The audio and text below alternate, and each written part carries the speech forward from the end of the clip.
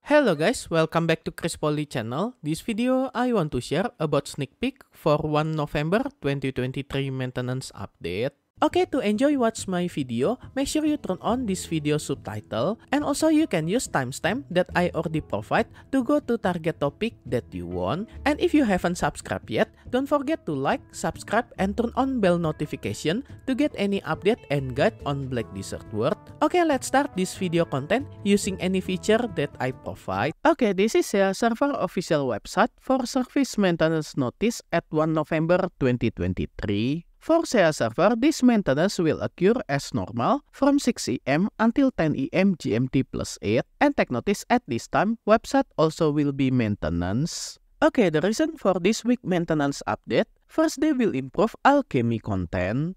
And this update just come from last Global Lab update at 20 October 2023 when I'm mentioning about alchemy content huge buff.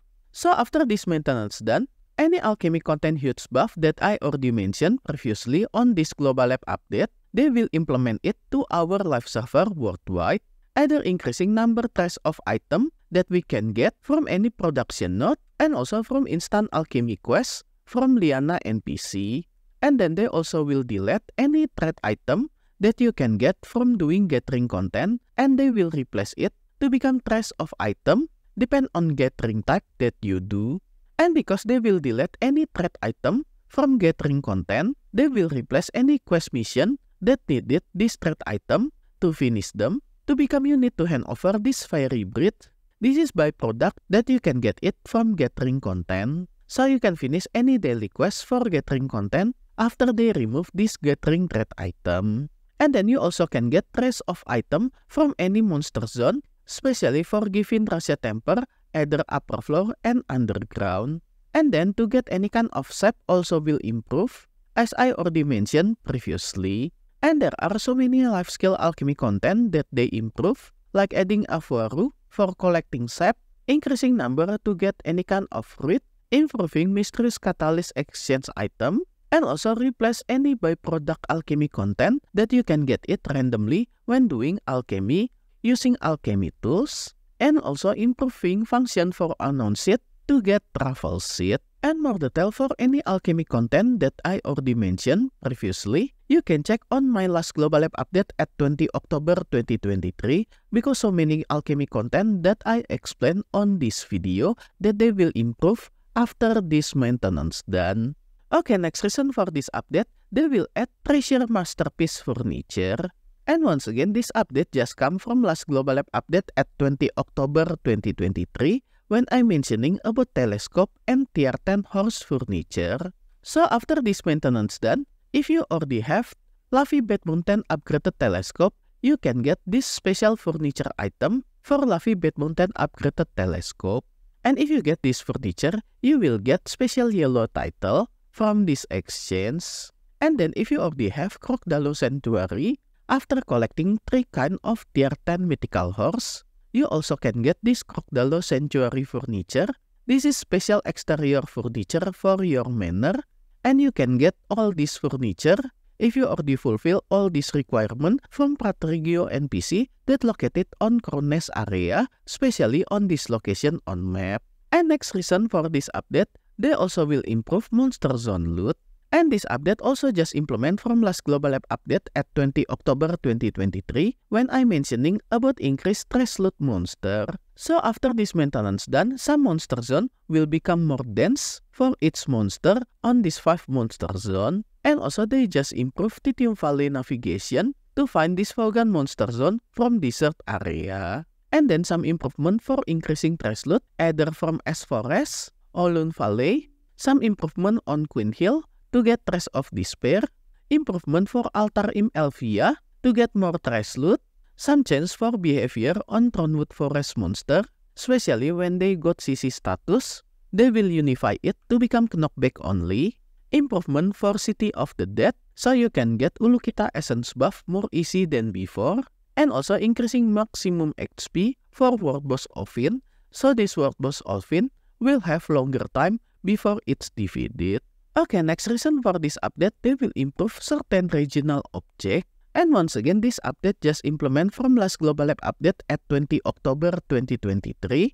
that they will move or remove any object that make some obstacle when you grinding monster, like stone pillar rumble object at Givin Rasya Temple underground, some object on Tesria Ruin, some fence on Mansiaum Forest, some root object at Bari Forest, some stone step on Bahui Valley, and some object at Rutum Outstation.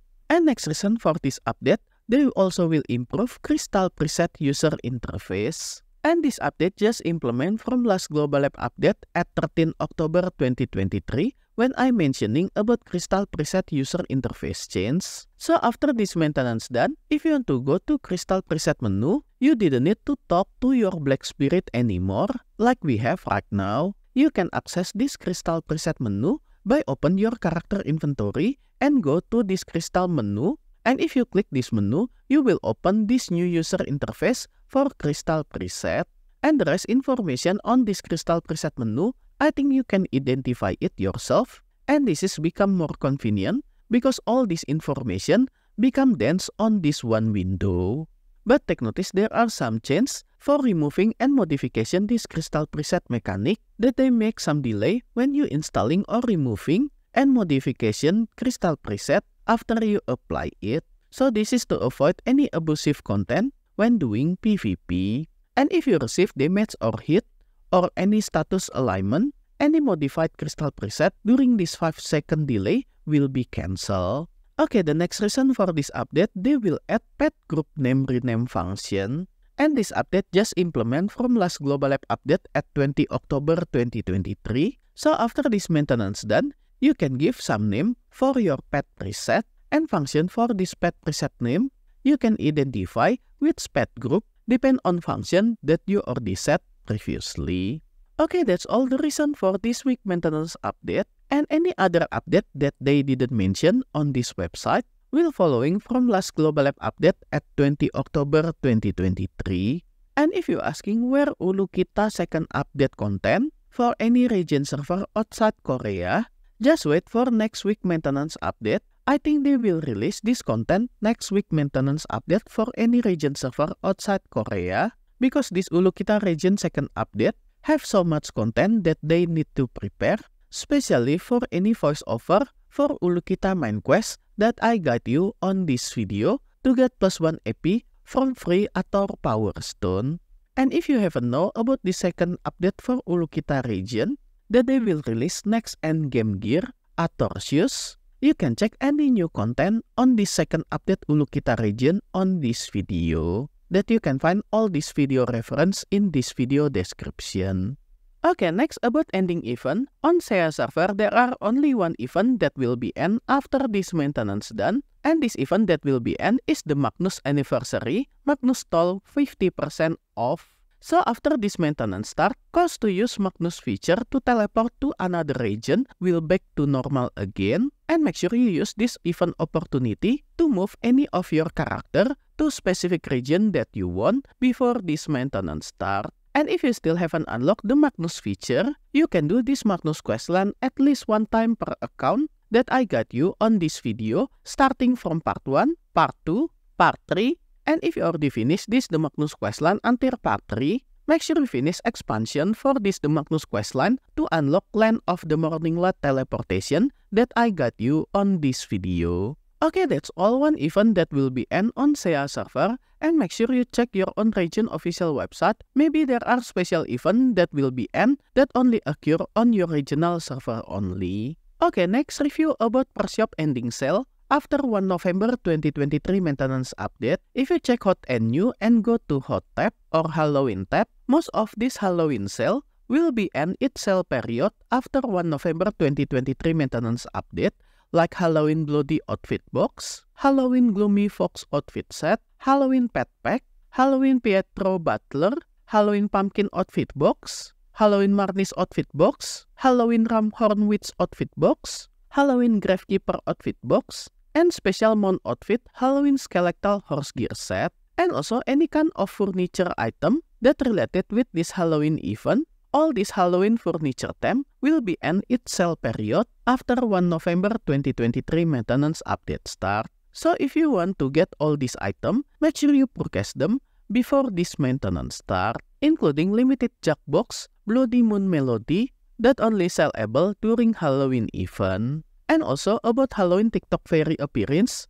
this Halloween Fairy outfit appearance also will be end its period after this maintenance start. And then if you go to best tab, there are some packets that also will be end its sale period after 1 November 2023 maintenance update, like Wonderland All-in-One Pack, and also special limited outfit Wonderland Outfit Box for special Halloween outfit 2023. And for any other bundle that will be end its sale period, you can check them yourself and purchase them if you really need it. And also any kind of backpack bundle either 50 slot and 100 slot that have discount 25 until 30% also will be end its sale period after this maintenance start. And the same thing for Hercules Pack, either Hercules Pack 1 and Hercules Pack 2 to get weight limit expansion coupon for your character. Its sale period also will be end after this maintenance done.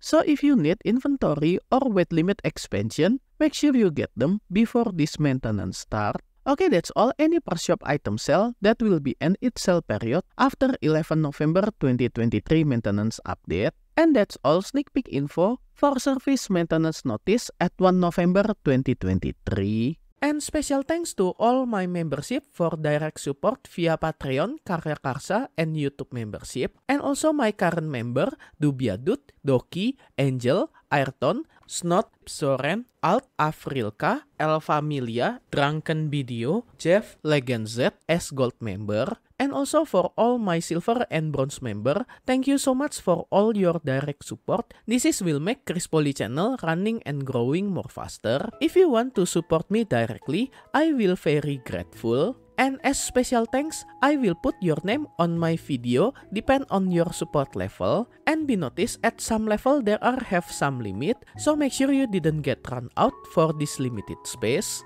and I will put your name on every subsequent video that I release for the duration of your support. And if you want to join my membership to support me directly, you can go to any platform for Patreon, Karya Karsa, and YouTube membership. I already put link for this membership on this video description, or you can check on top right of this video, I already put card for Patreon link. If you like this video, you can like and subscribe to my channel for another guide and update. Thank you for watching. See you next time.